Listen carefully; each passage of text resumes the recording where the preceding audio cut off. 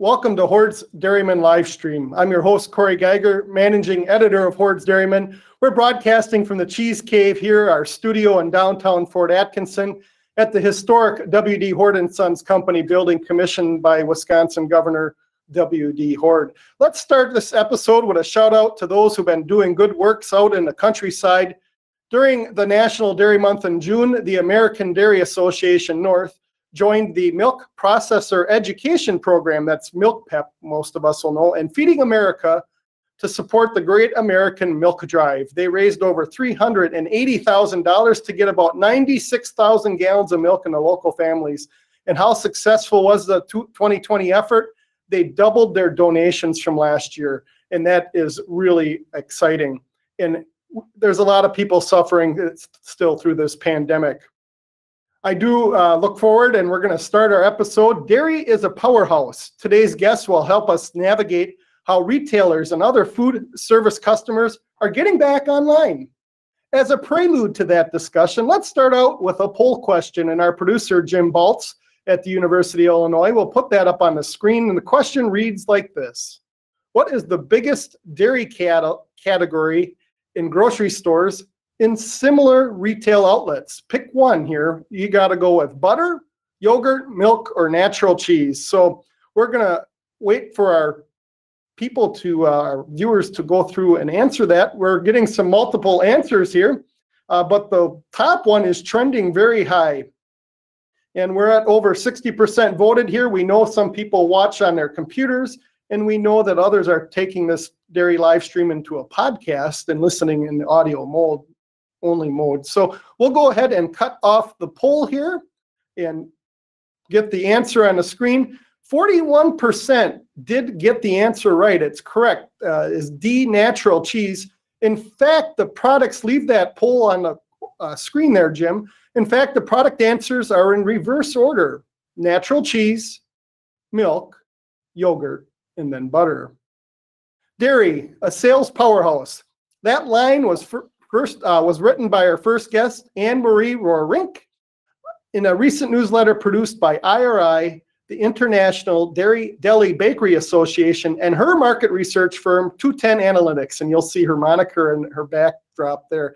Anne Marie has a knack for distilling complex data into usable, easy to understand materials for business audiences, ranging from America's largest retail chains to single store family chains. In short, those are the folks selling our dairy products made from the milk on our farms. Anne Marie, why are you stating that dairy is a sales powerhouse? Well, uh, Corey, first of all, thank you for having me. I'm excited to be here and share some uh, some research stuff here.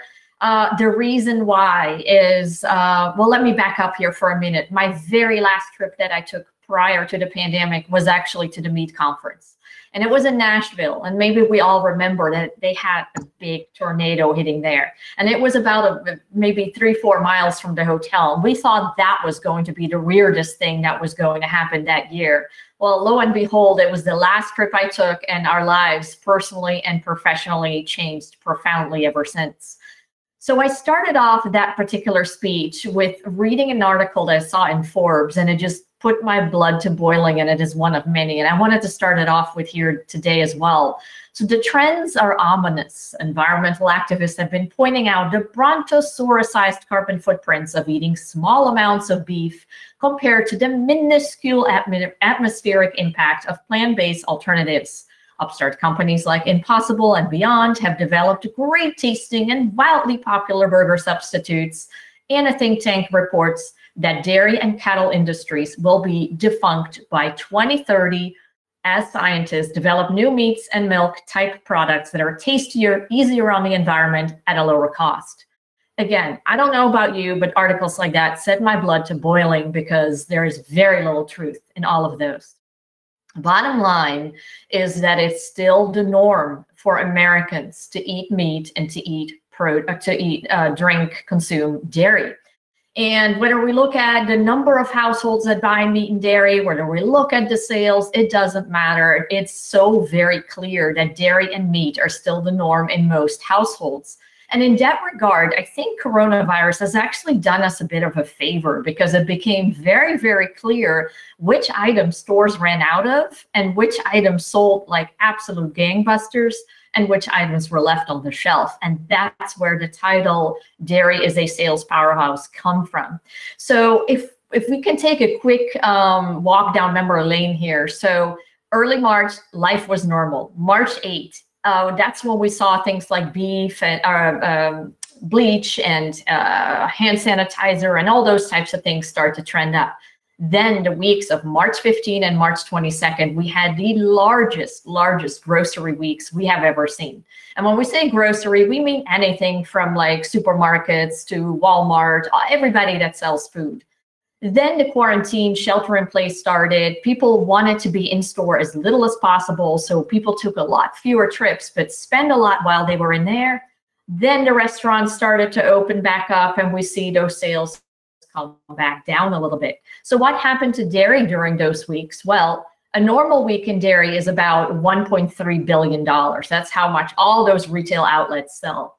Well, during that crazy two weeks, March 15 and 22nd, we sold about $1.7 billion worth. So almost half a billion dollars worth just that one week. Um, then in, in, terms of a percentage, when we compare the sales those weeks versus the same exact weeks the year before, we were up 60%. Um, that's incredible if you think about the amount of product that moved through retail stores there were three dairy items actually that were more than double the size of the year before. That was butter, processed cheese, and margarine. That's incredible. So when we move further down the timeline and we just look at late June here, dairy sales are still 15% over normal, which is incredible. And what is the craziest thing is that we mentioned earlier, natural cheese is the biggest one of them all. Well, it's still growing at the highest rate. So we see basics like eggs and yogurt and milk and natural cheese all just trend above last year. I would say the only one that hasn't trended as high above last year uh, has been yogurt. And our theory on that is we see a lot of single serve yogurt move through the system when people are working out of home, going to school, etc. So that one is starting to come back as life is normalizing a little bit. So what is driving all of this? Well, overnight restaurants closed and all of a sudden every single meal occasion, whether it was breakfast, lunch, dinner, snacks, etc., moved to at home. So all of those dollars suddenly moved into the retail channels. Normally, the dollars are shifted about 50%, 50%. So all of a sudden, restaurant sales just completely collapsed. Then think about the number of mouths around the table as well. If you think about colleges being closed, kids being home from school, all of a sudden you are feeding a lot more people at home as well. Um, just to give you a fun stat, after those crazy buy-in weeks, if you looked at what people bought on Amazon, there was a 6,000% increase in people buying knives, bowls, cutting boards, a couple of hundred percent increase in people getting coffee makers, pizza ovens, anything that you use to prepare to prepare items. And more than anything, America was baking. We were going baking crazy. Yeast was sold out, flour was sold out, eggs were 100% over normal. Um, and that is still a huge opportunity for dairy. So if I have to think about what are the big opportunities for, for the dairy category, regardless of where you sit here in the supply chain, I would say people have re-engaged with dairy products across the board and let's make sure that they have a great experience and let's make sure that they feel good about their re-engagement with dairy think about the fact that people have cooked from home for four months now. And that's not something a lot of Americans did. So people are running out of ideas. Anything you can do to say, you know what, here is my favorite dairy product, here is what I do with it.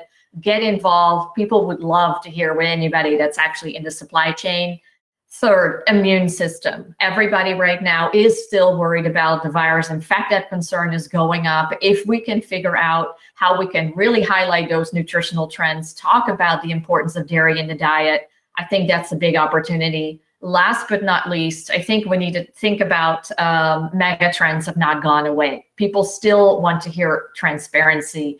For the farmers on the phone with us today, uh, this is a big role for you guys. People want to know the what, where, when, and how, how to get involved. And I think that is still an incredible opportunity for our dairy industry.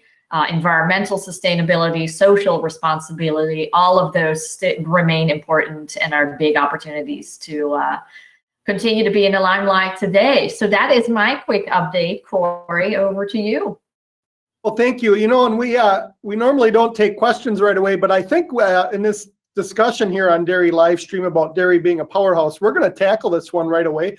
And Jim asks, "What is natural cheese?" And so when I came in the industry, I'm like natural cheese, processed cheese.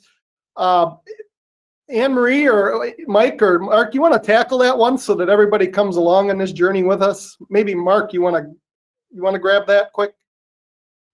Well, sure, I'd be happy to. Although I was going to say, Mike, in his many incarnations, has spent some time, um, you know, in uh, the cheese industry, including a fair amount of process. But um, natural cheese is uh, cheese that has simply been uh, made and formed like we might normally think about, like cheddar cheese. Good example of, of a natural cheese, mozzarella and others.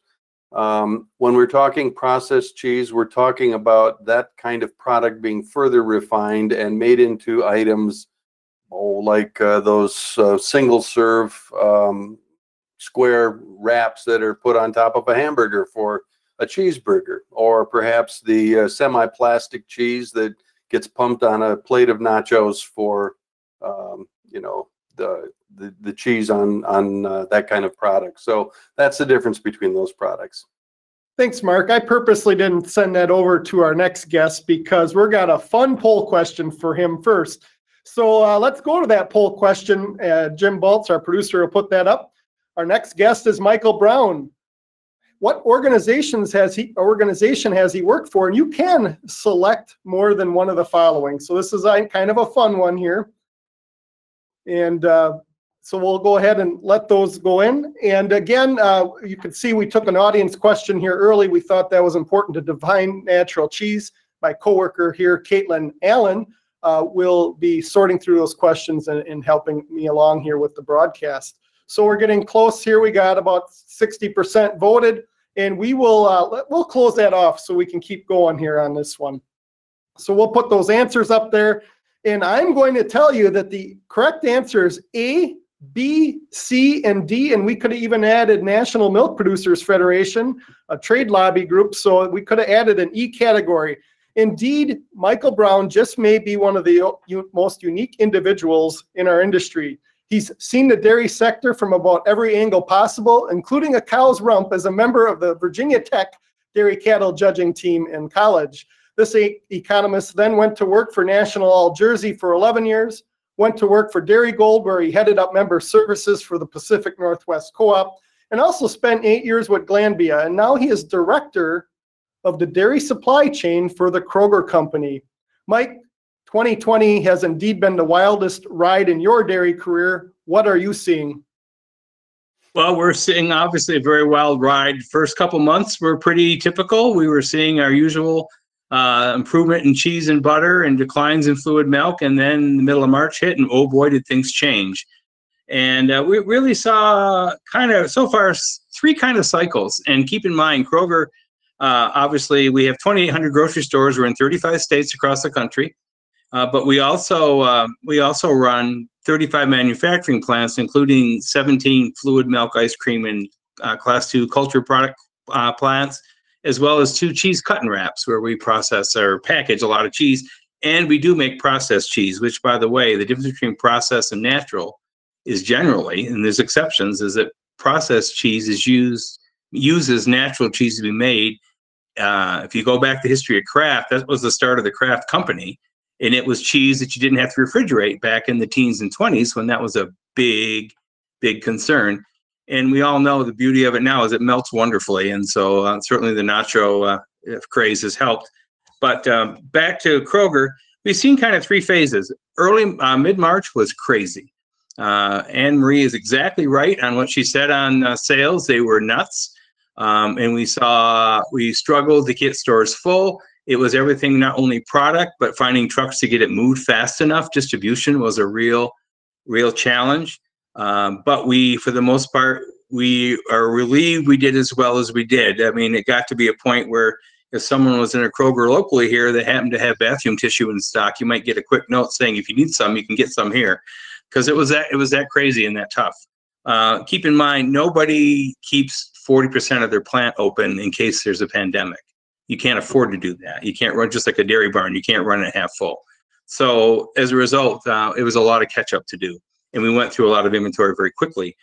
So that was the first phase, and that was really the first four or five weeks we really saw the last two of March, as Anne Marie said, were the biggest, and saw growth in everything from fluid milk, cheese, butter, you name it. Uh, there was incredible growth. Interest in baking, amazing. After that, keep in mind we run uh, we run uh, all those dairy plants. Of those dairy plants, um, of the 17 that do ice cream and fluid milk, there are two that buy cream, and there's 17 that sell it and it got to be kind of a joke working with cream. We sell cream um, through dairy.com, like a lot of people do, which is a, a firm that offers a lot of services, including brokerage of cream. And we, we became part of the Dump Cream Club, which means that we had loads we simply couldn't find a home for because there was no place that could take it. Well, what caused that? Well, we had that big rush in early March where the grocery stores are buying everything in sight. But by start of April, particularly by mid-April, food service had slowed down, of course, drastically. And so we were dealing with problems with particularly class two, a lot of cream cheese in, in food service, a lot of creams in food service, sour creams, those kinds of products.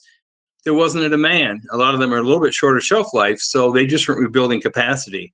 So we reached a point where, you know, butter was, again, full disclosure, a lot of you probably know this. I'm a Jersey cow guy.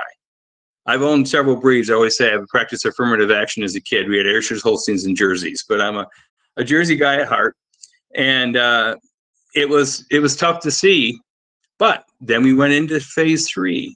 Uh, places started to open back up. That food chain, uh, that uh, food service chain, it pretty much depleted, particularly fresh product supply. Uh, we had actually bought a fair amount of product in bulk packs, five pound packs of cheese, for example, to make sure we had enough product because we had a shortage of consumer packaging capacity. I think that's one thing that a lot of people uh, may not be aware of. The issue wasn't finding butter or cheese; it was finding a place to put it in a consumer package.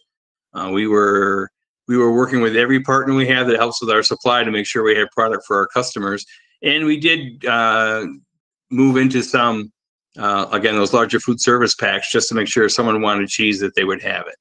So we did that. But then in, phase uh, two, uh, at the same time, cream starts to drop.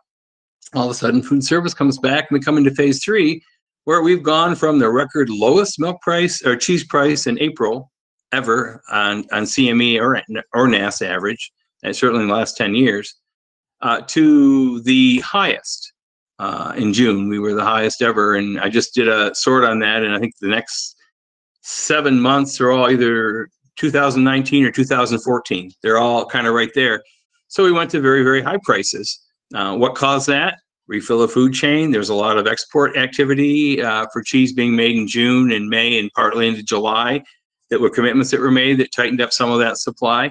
Milk supply, of course, started to drop some places. So we went um, from having plenty of cheese and no place to process it to where sales have started to slow down. They've still been very, very strong to where we're now dealing with, um, frankly, you couldn't get some varieties for a while. That's starting to change again. So the blessing of all this is what was a horrible spring.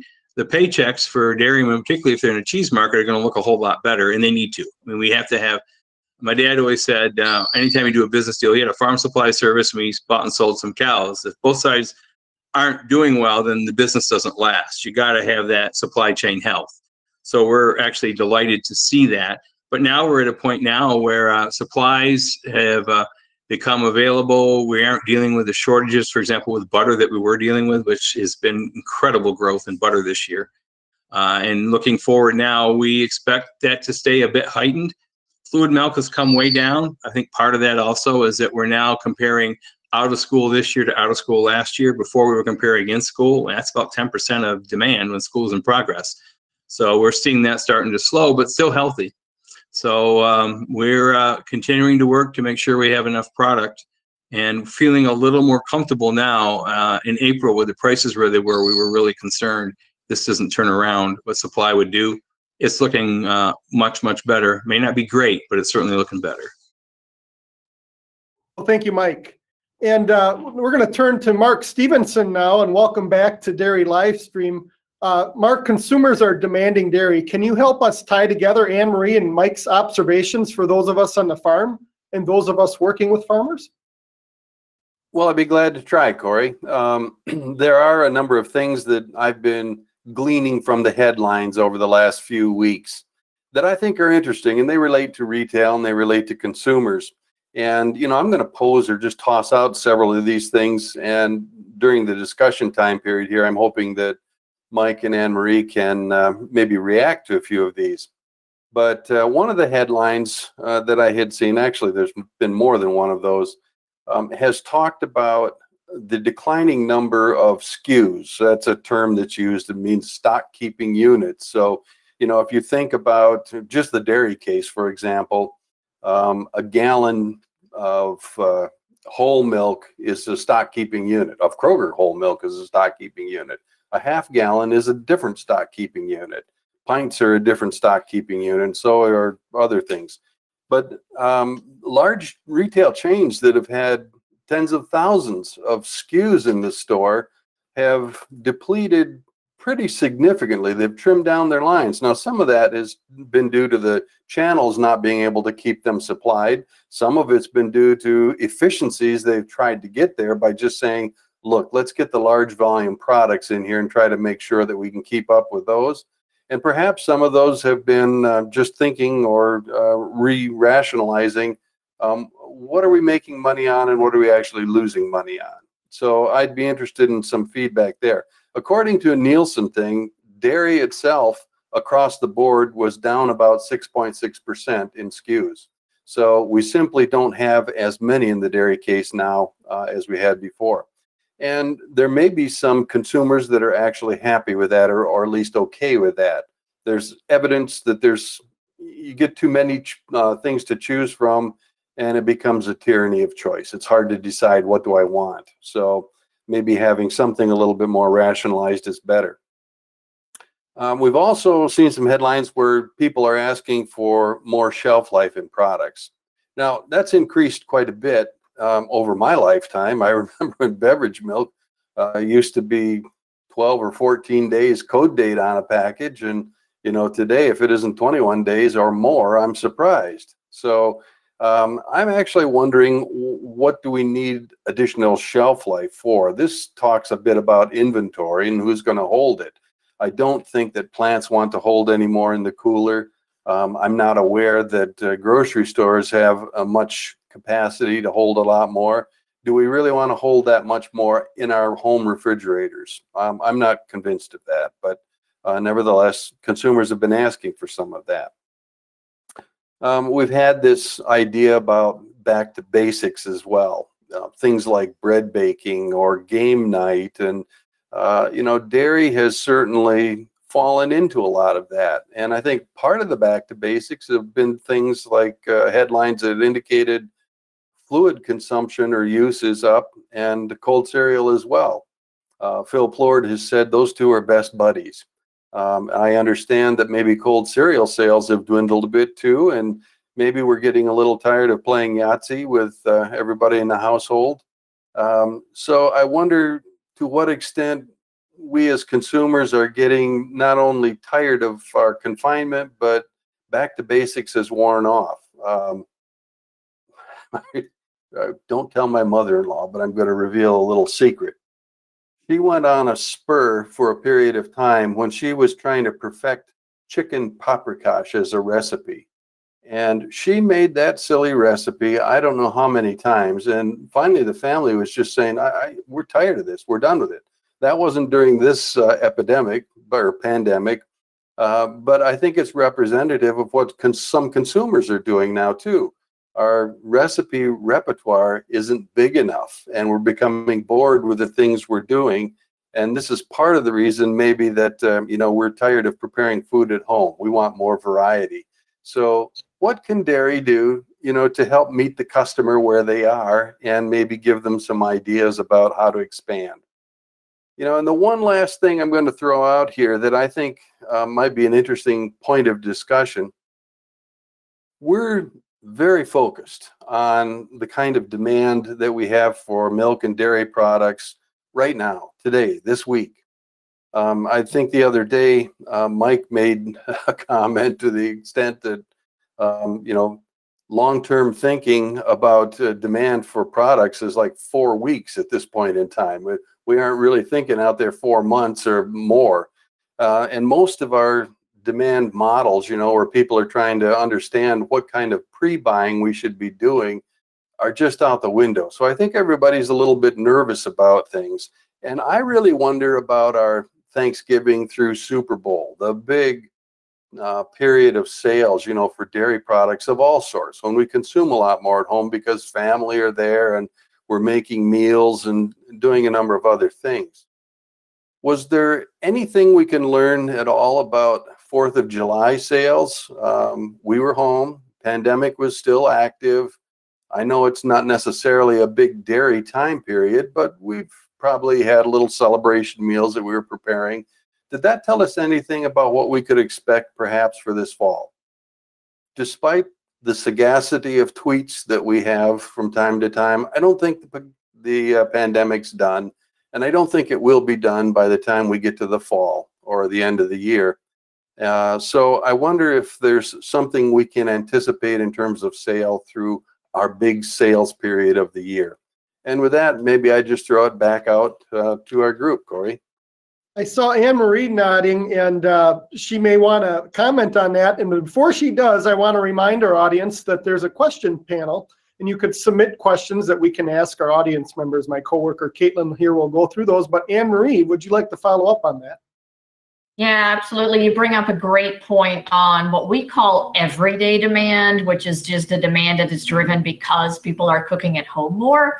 And then there's the holiday demand. So if you think about when the pandemic started, we had Easter, Mother's Day, uh, Memorial Day, and 4th of July, all since the start of the pandemic.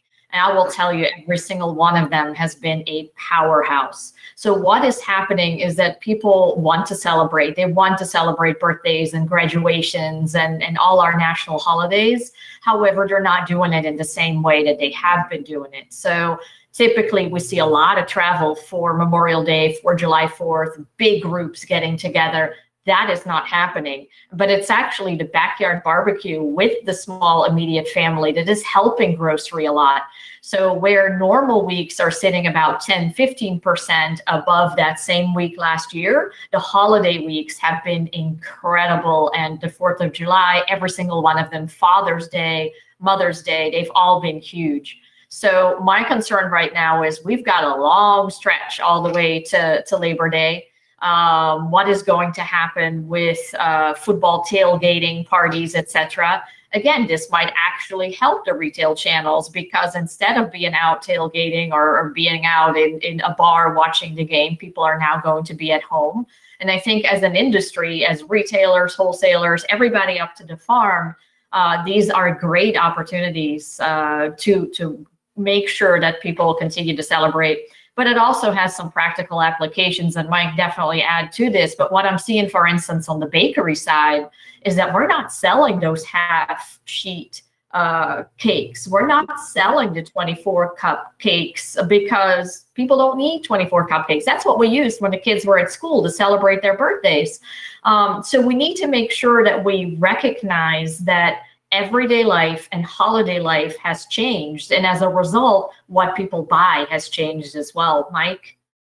Yeah. Um, Anne Marie, uh, you could be a Kroger spokesperson because we're experiencing exactly what you're saying. So uh, uh, it's nice to know that we're in that we're in the mix. A couple of things that Mark commented on. One is shelf life. Mark, we've seen that for a while and I think part of it, for example, when you all of a sudden, oh my God, it's it's the end of March and who knows what's going to happen? I'm going to buy four gallons of milk. Well, if it all has 21 day shelf life and you don't use it quick enough, all of a sudden you're realizing you can have a, an issue. Uh, we've seen for a long time that there's uh, pent up, I would argue, demand for extended shelf life and aseptic packaging for milks. Um, if you try to find capacity for products put in those kind of packages, it's very, very difficult. We run we, we run one line of each. aseptic in Denver and a and a ESL line in in Kansas City, and they out share what those are because I, I I'm those two lines. Tell people a little about aseptic and the other one. Okay, aseptic means it doesn't need to be refrigerated, although most of it is because co consumers struggle with not having the milk refrigerated.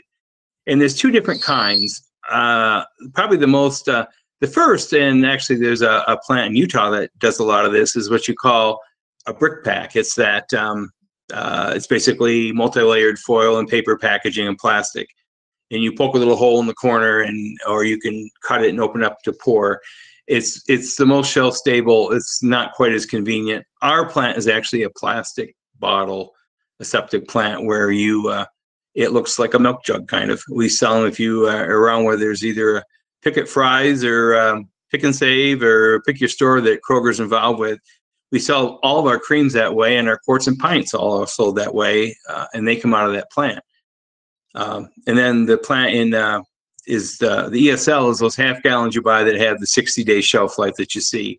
And it'll say it'll say ESL on an extended shelf life, or it'll say ultra pasteurized. And those products are a lot of the things that are a little higher value, that don't move quite as fast. And the the other advantage of those products is uh, supply chain. If you have a flex in demand, they're a little actually a little better than, for example, like cottage cheese or um, or sour cream, they have enough shelf life you can flex a little bit as demand moves. Fresh milk, you sell it or you don't sell it. You really don't have a lot of, a lot of option. And with Kroger, we try very hard to not have milk on the shelf that doesn't have at least 10 day shelf life. We want people make sure people take it home and they can abuse it a little bit and enjoy it and it will be good because one thing we do know is that fluid milk drives a lot of sales outside of fluid milk in a supermarket a lot of the biggest uh, grocery buyers buy gallons, as you might imagine. And so the last thing we want to have them do is not like our milk. And so they start buying the milk someplace else and the laundry detergent and the vegetables and everything else.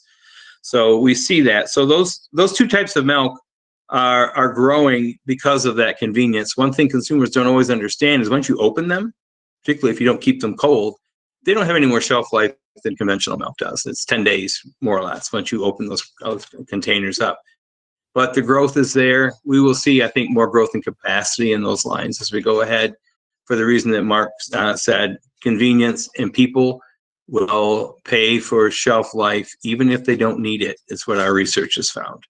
Yeah. Because we do offer fresh versions.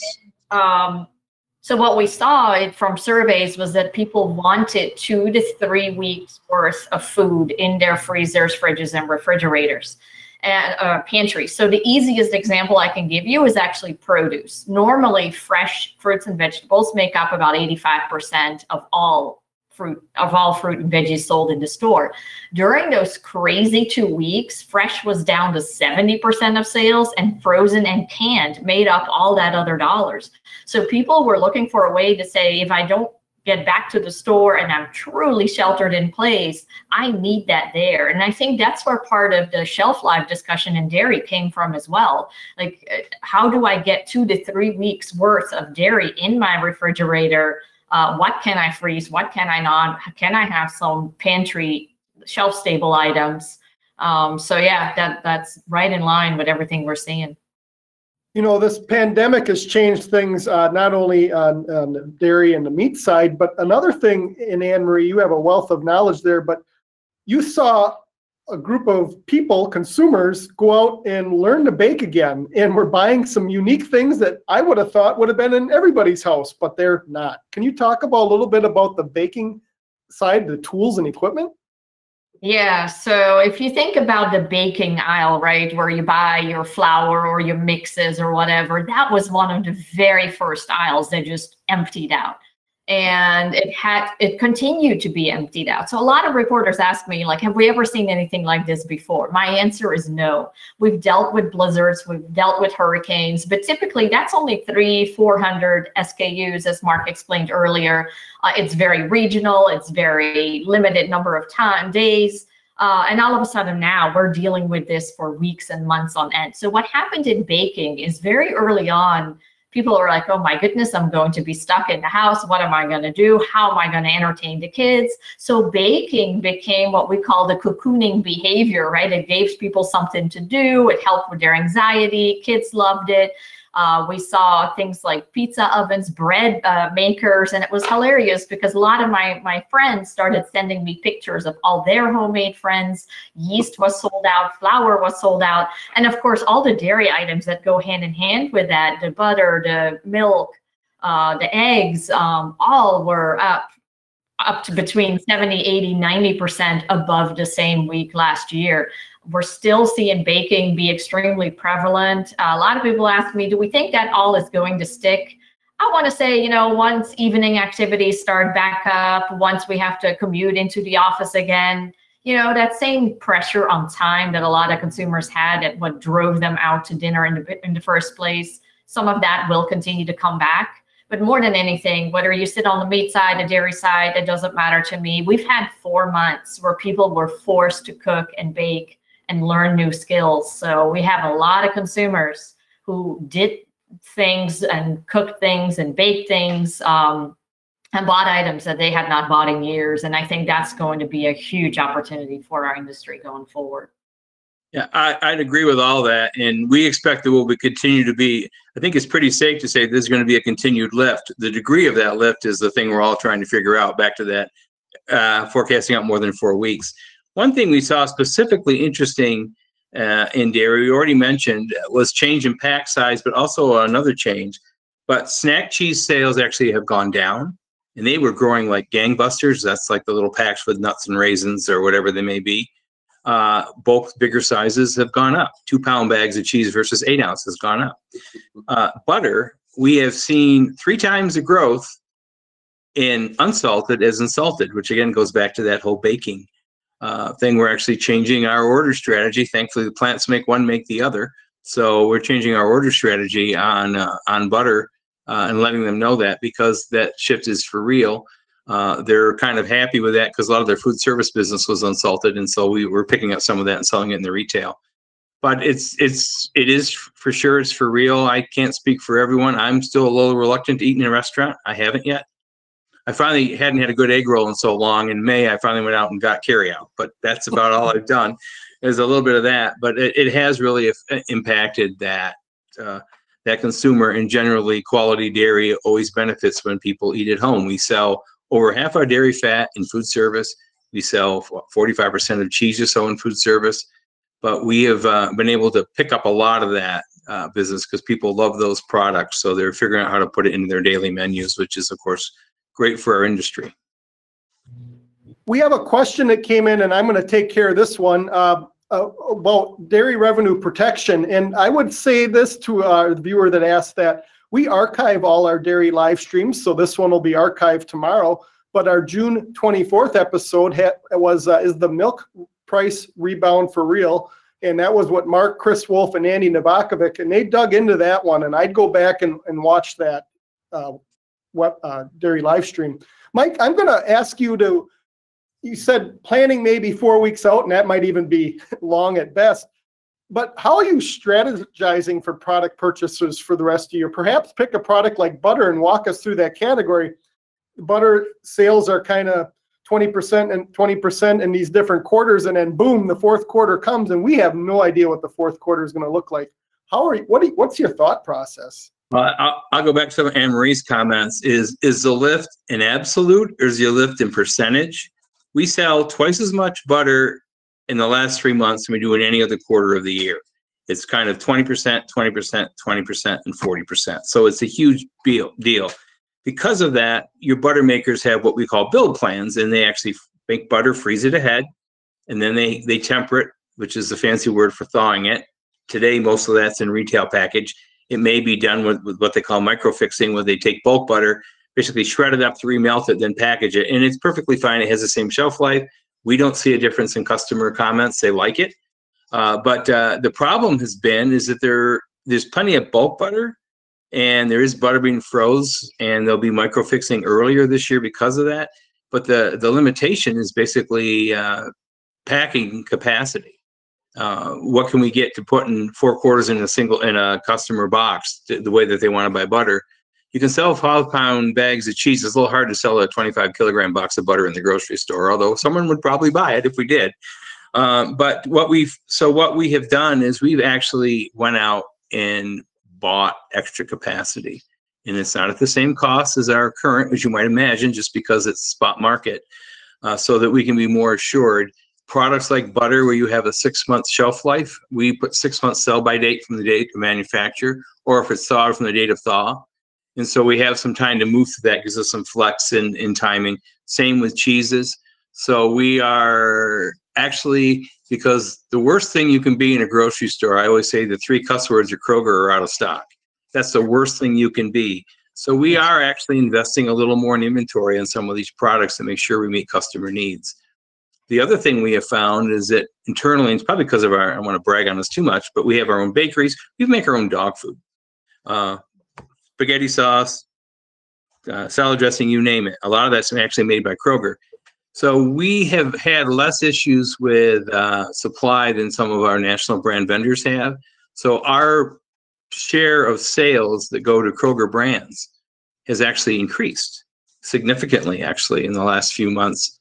And so our goal now is, of course, to hold on to that and keep that keep that growth in inside. It's been a chance, I think, for a lot of consumers because they couldn't get exactly what they're used to to try a different product.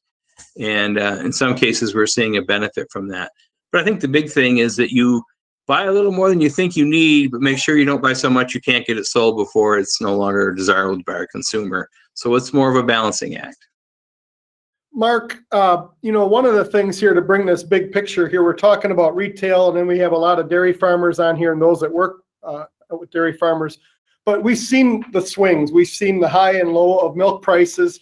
And when milk prices drop dramatically, we don't always see that in the store. And why is the question. And this COVID 19 thing has really made the situation so darn complex. Here, let's talk through that. And Mark, why don't you lead that one out? Well, I'd be happy to. I mean, we've made studies of this for a long period of time. Um, we've had a lot of volatility in milk prices at the farm level. We we've seen that at wholesale. Um, we see prices, you know, being really quite volatile as well. But you know, by the time they get up to the consumer, I think that you correct me if I'm wrong, but retailers realize that consumers don't like a lot of volatility in prices. Maybe once in a while they like to see a special going on, but they don't like to see prices bounding up and down every week or every month. And so they do try to buffer those prices out so that uh, you know their margins are much tighter, possibly even uh, loss leaders in some cases on products at some period in time and other periods of time when prices are relatively low for farmers make up some margin, but they get buffered and smoothed out. But it does get me down to a question that I would like to pose. Um, we've had relatively low farm gate prices out here, and yet at the store, in fact, I, I had an angry dairy farmer that snapped a picture and sent it to me, you know, where the store was indicating that prices are going to be going up on dairy products a little bit. So, you know, be prepared for that. And I think that one of the things we don't think about is just the added costs that we've had as a result of this pandemic through the marketing chain. You know, it's not just at one point in, in the chain, it's been all the way up through it. And, you know, maybe Mike and Anne Marie can talk a little bit about uh, what stores have had to do to deal with, um, you know, these kind of issues and why there may be some increased costs. I'll let Anne Marie go first so I can be lazy and just agree with her. Yeah, go. I'll I'll uh, I'll try my best. All right. Um, so you know, all of us are shoppers. So without a doubt, you've seen the plexiglass uh, shields that are put up at the cashier level. Um, there's many investments in the store where there's a lot more hand sanitizer stations. There's masks given out to the staff. So there's all the cost of the physical, um, additional hygiene and protection equipment. The other thing that is happening is that uh, a lot of retailers and really uh, companies throughout the supply chain realized that people who are working on keeping the supply going are really risking their own lives to, to feed America. And very early on, we saw a big shift in a lot of companies from saying customer first to you know what, during times like these, it's employee first. And so many retailers, as well as uh, suppliers all throughout the chain, started paying people more. And it was typically an initial $2, what they call hazard pay, much like the military. And in addition, if people called in sick, they got two weeks worth of paid sick time. Um, so in terms of the labor and in terms of having to hire a whole lot more labor in order to make these jumps possible, uh, there just was a lot of extra labor and benefits cost in the system in addition to those protective measures that were being taken. And all of those costs, of course, are spread out across uh, every single uh, price across all the different departments. Then we've had uh, departments like the meat uh, situation where tightness just drove up prices. So that's another report I write each week, and I'm happy to share uh, with any of the listeners here on the call today. Uh, but right now, we're looking at about uh, 15 to 18 percent inflation in the meat department, with led by beef at, at about 30 percent over normal right now. So yes, shoppers are seeing higher prices, not just in dairy, but really everywhere. Across the store, it's about six percent.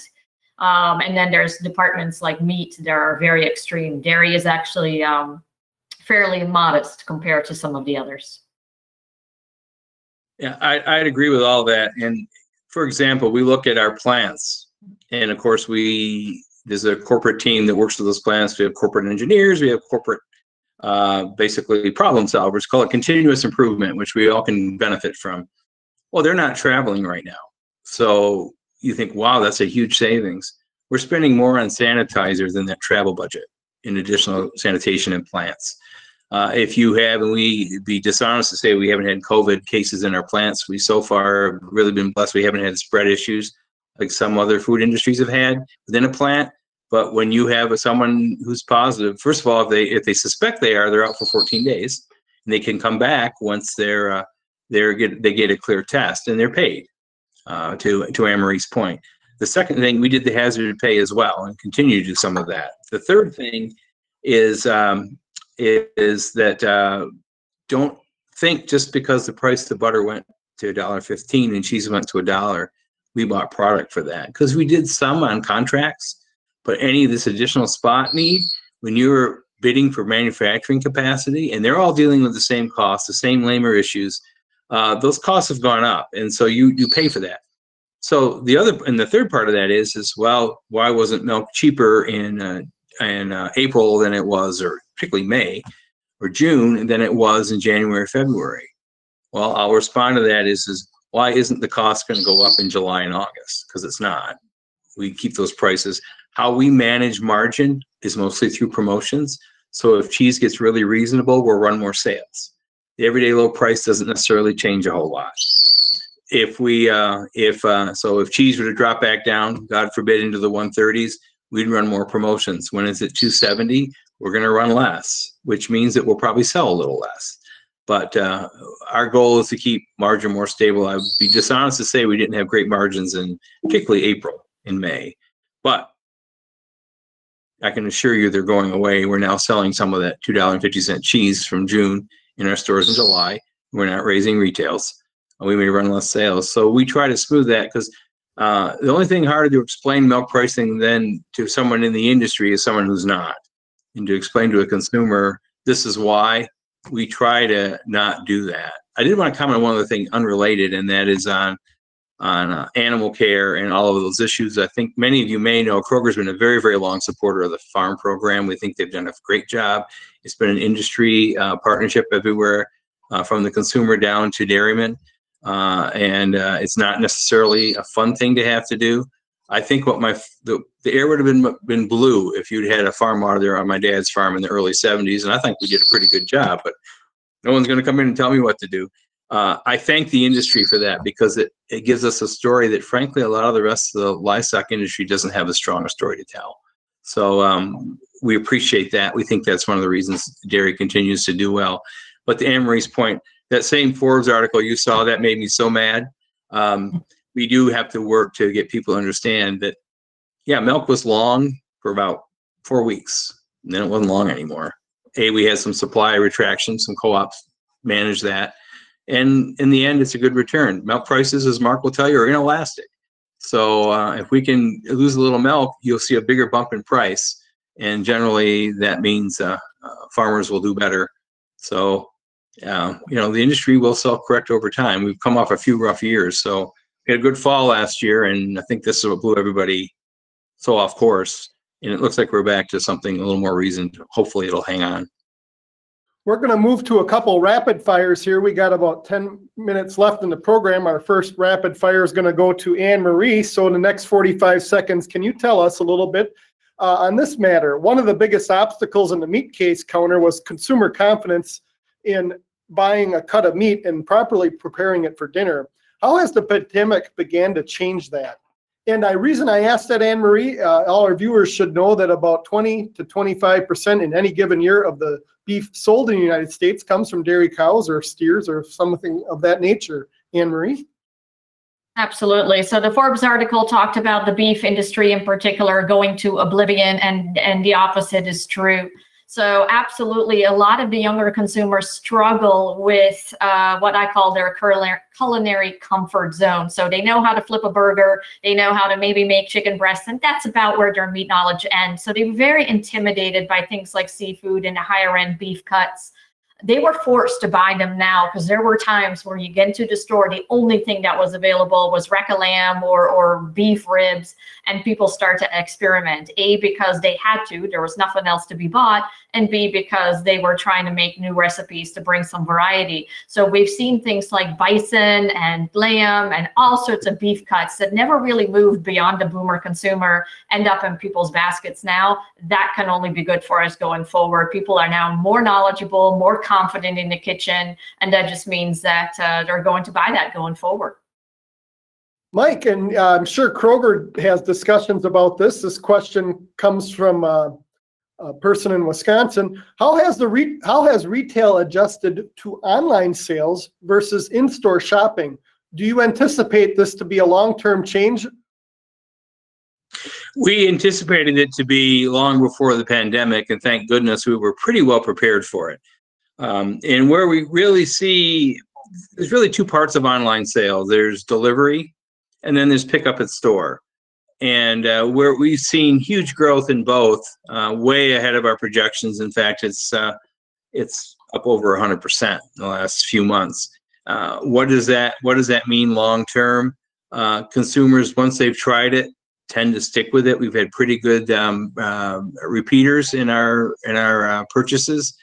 A lot of customers were using it on those chronic out of stock items like bathroom tissue or a sanitizer. And they said, well, once we get our order in, once Kroger gets it, they're going to, it'll end up in their box. I mean, it, it, at some point. So they kind of use it as a way to assure a supply. What we did see is the time. I mean, it used to be day of pickup. If you ordered in the morning, you could probably pick it up in the afternoon. It may, it may have gotten spread out several days. Kroger hired about 10% more people than we already had employed during the pandemic for everything from more people in shift work in the factories. A lot of it was that customer service restocking, but a lot of it was for uh, for orders. In fact, long term, we're investing in the system. Uh, it's a joint venture with a British company called Ocado, and it basically is a warehouse that packs orders. And it's all these little cells in the ground, uh, refrigerated or, or ambient temperature, and it, you do an order and it goes around and picks up however many units it needs from each of those boxes and brings it over to a packing station. Uh, we see that as a lot of growth. Our first one will open in Florida, which is interesting because we don't have stores in Florida. But I think the premise is we have so many retirees from north of there that all have Kroger's that hopefully they'll like being able to buy Kroger locally. But we see that as nothing but growing. And the thing that we always talk about technology and how uh, uh, older folks, I'm 60, I'm not exactly a spring chicken, but are, are, intimidated by it. And I have to admit, I like to go in the grocery store, but that's partly because I want to see what my stuff I'm buying looks like. Do we have enough of it and all that? Uh, is older folks have really appreciated the not having to have human contact, having to have the pickup. And so we've had huge growth uh, with a lot of our older customers, which you normally would think this is a millennial thing. It's not, it's everyone, which has been an education for us. Our next quick question here uh, is to Anne Marie. How have dairy product sales compared to dairy alternatives during the pandemic? Well, so uh, the good old consumer media loves to tout the enormous uh, jump in percentages for, for plant-based meat alternatives and dairy. And of course, as I always say, if you look at the sales of dairy versus alternatives, it's a pinprick and a giant uh, pie. And it's very easy to have high growth percentages on the pinprick, but it's still a pinprick. So I actually looked at the share at the very onset of the pandemic on March 1st versus the share for the latest week that I had available. And the share of plant based uh, dairy is actually down. So even though they have sold big percentages worth, in the end of the day, it's dollars we, we take to the bank. And from a share perspective, uh, dairy is doing better. We have a, a, listener from California say that she's still seeing limits on purchases for butter and shortages of other dairy products out on the West Coast. Are you seeing that anywhere else in the country? It depends on the supplier. Uh, in our case, we have had shortage issues in some markets and not in others, and it really depends on the supplier. We've had a few suppliers that have been impacted more strongly by COVID itself, as far as labor force in a plant, which hasn't allowed them to run at full capacity. That's true in pretty much any dairy product you want to think about, but certainly true in butter and also to some degree in ice cream. So yes, that is that is true. But the issue isn't lack of product, it's lack of processing capacity again uh, for those products. It's been the stream. We have two two co-ops that are expanding their butter processing capacity. Uh, this one started this spring, that's Continental down in Texas. And the other one is uh, CDI out in California. And so they're building, and those are planned, of course, long before the pandemic, but they're already sold out. So that's the kind of uh, craziness it's been. So uh, it's again, it's that packaged product that's the problem. It isn't the commodity itself.